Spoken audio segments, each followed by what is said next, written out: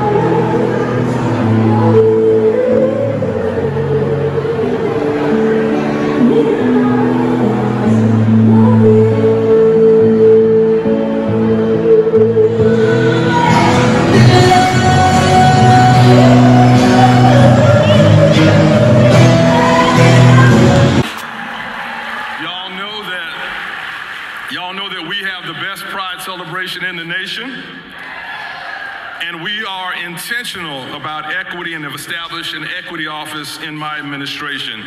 And yes, we will raise the pride flag this year over City Hall.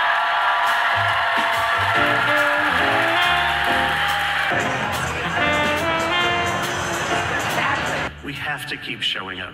We have to keep standing up. We have to keep going into rooms. It takes courage. It takes strength. It takes resilience. But we've got all of that. We've got all of that. So thank you all for being a part of the hometown team for Equality Florida. You make all of this happen. We're going to win this thing. Thank you. I don't want you to be deterred, and I know this group will not be deterred from this backlash that has gone on in subsequent years. And my message to you is don't agonize, organize. If you organize, we will be able to pass the Equality Act into law uh, federally to make sure that all Americans have protections for equal rights and housing and employment, just like we enjoy here in St. Petersburg.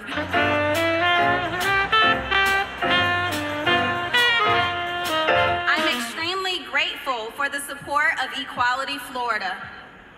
Let's get loud. Let's get loud. and vote in August and in November.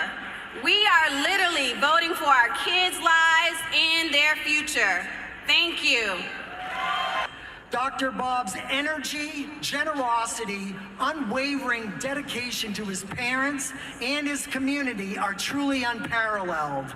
He is a shining example of what it means to lead with empathy, kindness, and a steadfast commitment to justice. Will everyone please join me in a standing ovation for Dr. Bob Wallace as the recipient of the 2024 Equality Florida Voice for Equality Award. I've been working with Equality Florida now since its inception. I've actually lived here in St. Petersburg for 52 years. Uh, I consider myself a, a local here. As I watched the Equality Florida team continue to mass many hours of work, I'm in great respect of both Nadine Smith, Todd Richardson, and all the people that I've had the chance to meet who are working with Equality Florida. What do you think about your award? Oh, I'm so excited. It was a wonderful evening.